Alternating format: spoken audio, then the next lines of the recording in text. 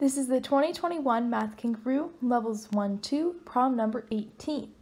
Every time the witch has three apples, she exchanges them for one banana. Every time she has three bananas, she exchanges them for one apple.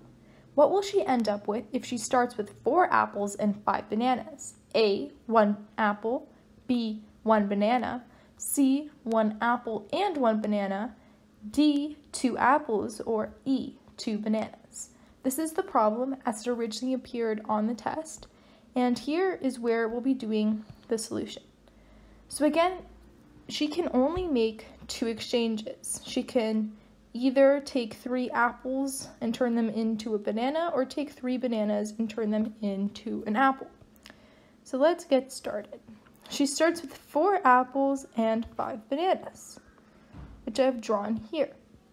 So out of these two exchanges she can make, we can see that she can exchange three apples for a banana and she can exchange three bananas for an apple. So now these three apples became this banana and these three bananas became this apple. Now what she what can she do? Well, we see we have three bananas. Whenever we have three bananas, we exchange them for an apple. And now we see that we have three apples.